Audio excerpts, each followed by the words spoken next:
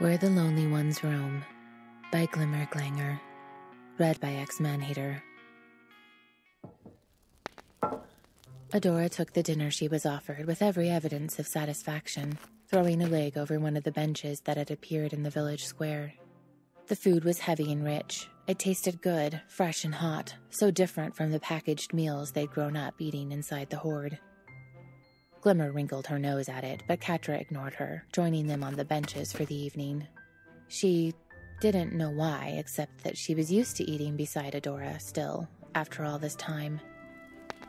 This is nice, Adora said, holding her empty bowl between her hands while someone started singing over near one of the other fires. She smiled slightly, tapping her fingers to the music. Glad it meets your approval, Catra drawled, but without the bite she wanted to put into the words. It was hard to muster the venom she wanted, not when she kept remembering Adora's weight in her arms. Well, Glimmer said, setting her bowl, largely untouched, to one side. This has been enlightening, but we really should be getting back home. Mom will be expecting us. Catra cocked her head to the side. Oh no, she said, feigning disappointment.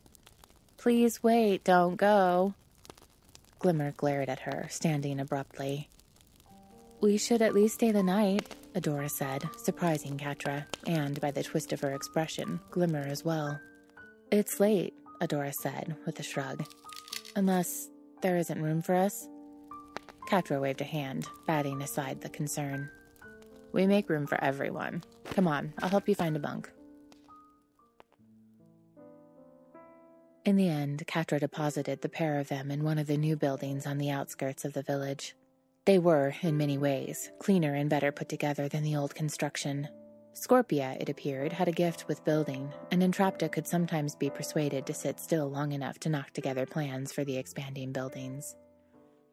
Just ask if you need anything, Catra said, leaving them on the doorway and stalking back to her quarters and an empty bunk. She curled up at the foot before cursing kicking her way free of the blankets and going to take a patrol around the village. It was somewhat of a surprise to see Adora at the breakfast fire the next morning.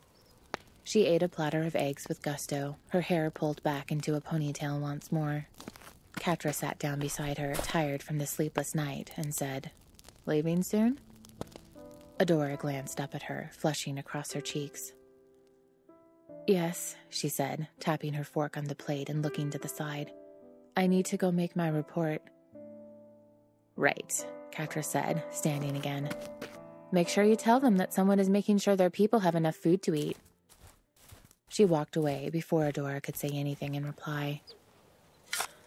Hey, Scorpia said later, approaching Catra slowly, where she was digging out the stump of some old ruined tree. Everything okay? You seem kind of. Everything's fine, Catra snapped, and no one asked again. She had known Adora wouldn't stay, anyway. Adora never stayed.